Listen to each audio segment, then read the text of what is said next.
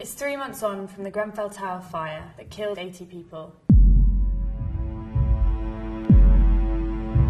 The conditions that led to the fire involve local council disputes, outsourcing, building regulations, topics that can appear dry and inaccessible. But as the fire showed, without proper scrutiny, that can become the recipe for an absolutely devastating catastrophe. My family lived in Grenfell Tower. You burnt them alive. They got burnt alive. I don't have my parents anymore, and you only get one set of parents in this world, and I had three siblings. They're all gone. How do you feel if you're sleeping, sleeping in your bed and you can, all you can see is like dead people? So, as the criminal investigation and the independent public inquiry get underway, it's important to remind ourselves of the key questions that need answering. No sprinklers, faulty emergency lighting, gas pipes running along corridors exposed, fire equipment years out of date. because the smoke is coming.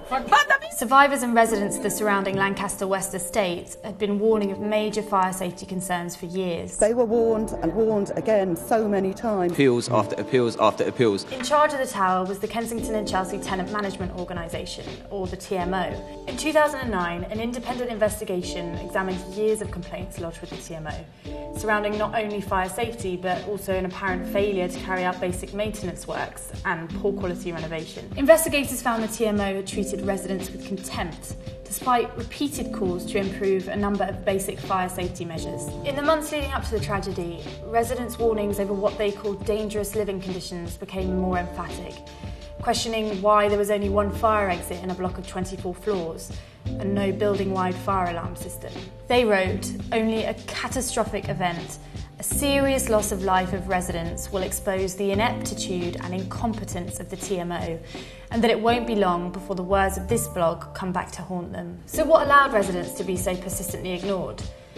Management of Kensington social housing became wrapped up in a complex web of public and private companies, a surprisingly common setup for councils across London and the UK. The same is true of places like Aylesbury Estate in Southwark or Myattsfield North in Lambeth, where upkeep and refurbishment, crucial for estates built decades ago, is outsourced. This makes accountability for social housing tenants very difficult, and private companies like the TMO historically haven't been obliged to share information with the public, which means the very organisation that manages such a crucial public service is not directly answerable to the residents it serves. In 2016, the TMO contracted Rydon, a private construction company who themselves subcontracted some of the work out even further to complete a £9 million refurbishment of the block. The contractors were encouraged to keep costs down, changing the cladding from zinc to a less fire resistant aluminium, saving £300,000 just 3% of the total cost of the project. Police are now speaking to 60 firms involved in the refurbishment of the tower,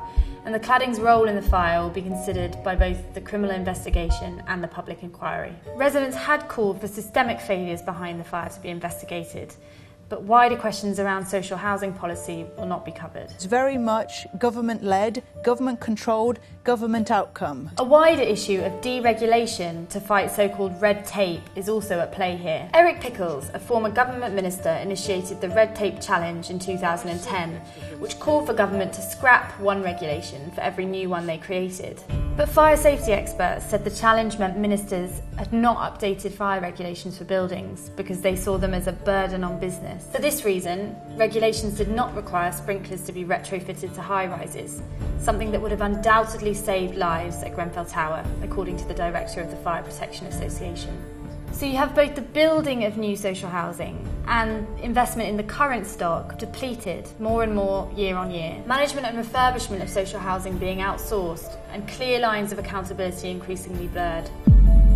This is a story of the housing crisis taken to its extreme conclusion. Now, on the night, Grenfell residents were told to stay put in their flats. We're stuck on the 23rd floor!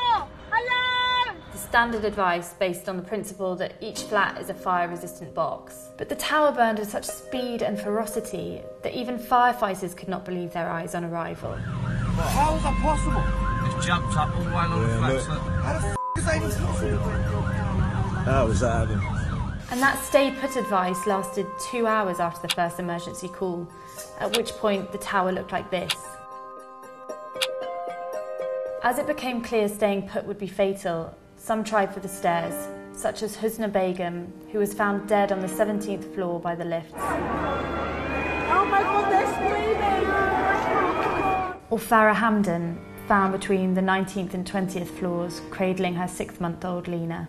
Others, like engineering student Mohammed Al Hajali, saw the only way out was to jump, but died from the fall.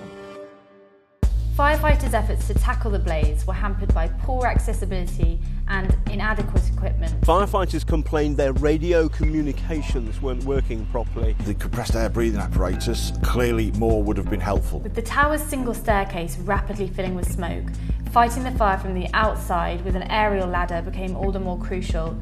But crews arrived without the highest one. The highest fire service aerial platform in Britain is not in London but in Surrey. It arrived hours after the fire was out of control. Why don't we have this equipment? We are London, you know, mm. we, this is the 13th richest country in the world. 10,000 firefighters have been axed from the fire service since 2010. Dozens of stations closed, leaving the poorest most at risk. Research shows the highest incidences of fire occur in neighbourhoods with the highest rates of deprivation, for a complex range of reasons. Buildings like Grenfell, with 120 flats across 24 floors of majority low income families, need the very best fire safety provision society has to offer, and they didn't get it.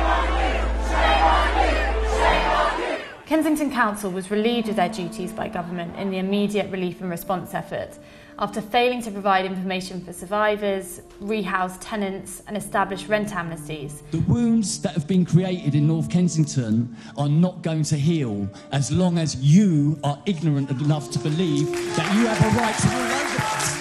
Public relations disasters have continued to occur, revealing quite how out of touch the council is with the needs of residents. Shutting survivors and journalists out of meetings, or the ex council leader suggesting that victims were partly at fault for the tragedy by declining to have sprinklers installed. But many residents felt that we needed to get on with the ins- installation of new hot water systems, new boilers, and that fitting, trying, trying to retrofit more would, de- would delay the delay the building. Appointing a new Tory council leader, Elizabeth Campbell, has done little to regain the trust of the community in North Kensington. I haven't been into the high rise council blocks before, but I am certainly doing that now. With only 14 families successfully rehoused two months on. You've let the dead down, now you want to come for the living? If the council wanted to defend themselves against accusations they neglected low income residents in the borough, in the eyes of the community, their response to the fire only contributed to the case against them.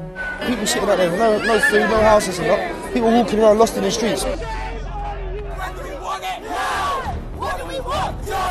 We are not listened to, and this had to happen, bruv. I don't even.